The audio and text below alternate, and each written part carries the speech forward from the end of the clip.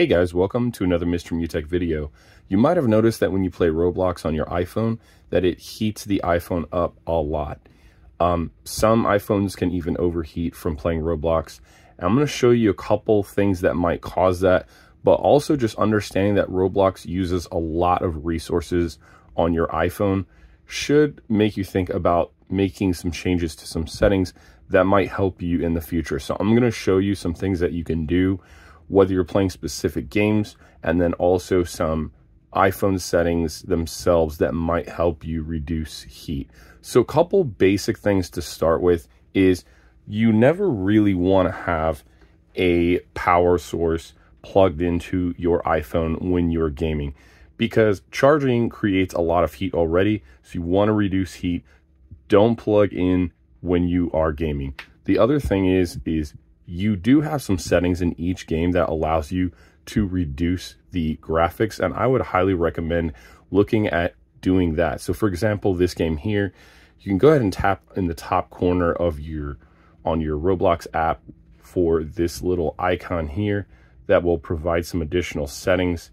Tap on the settings tab here and then if you just scroll down, you're going to see a couple options down here for graphics and currently right now you can see that my graphics are set to manual.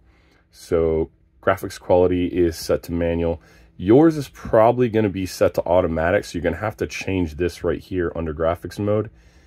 And then once you change that it goes to manual and you can increase or decrease graphics. Now if you have graphics all the way up your iphone is going to heat up massively. So try to find some kind of balance where the graphics still look decent but maybe not maxed out. So if you can put it maybe midway through or just reduce it all the way if your iPhone is heating up drastically. All right, so let's get out of the game actually and then look at some of the settings on our iPhone that we can make to improve the heating issue that we might be having.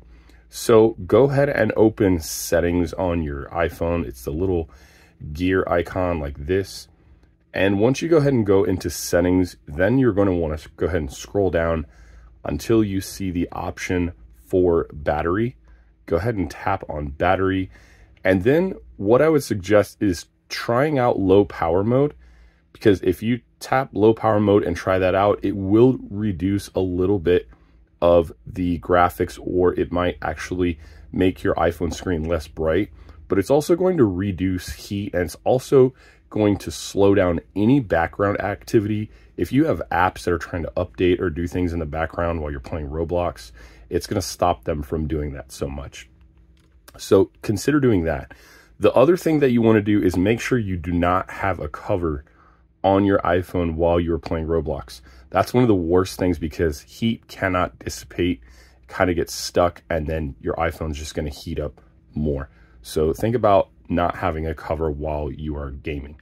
So the other thing that we can also do is we can go ahead and test playing on Wi-Fi or cellular. And what you might want to do is just like turn off your Wi-Fi and then only use your cellular data and then just see if that makes a difference. And then if you are going to use cellular data, the other thing that you might want to do, I'm going to show you here is reduce the data that is being used. So what we could do is we can go ahead and go over to settings. And if you go to the settings option here, you're going to just scroll down until you see cellular. You go ahead and tap on cellular.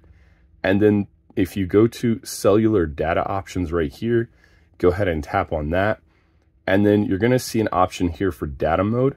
Go to data mode. And then what you can do is just set it to low data mode. And this, once again, is going to limit any background activities, and it is going to lower the amount of data that Roblox is using, which will obviously reduce heat of your iPhone device. So hopefully these things help you guys out. I know Roblox can get super, uh, your iPhone can get super hot while you're playing Roblox, but if you do some of these things, you should notice a major decrease in heat on your iPhone device. Hopefully this was helpful for you guys. If so, feel free to give me a like on this video. Thank you so much for watching. Have an awesome day.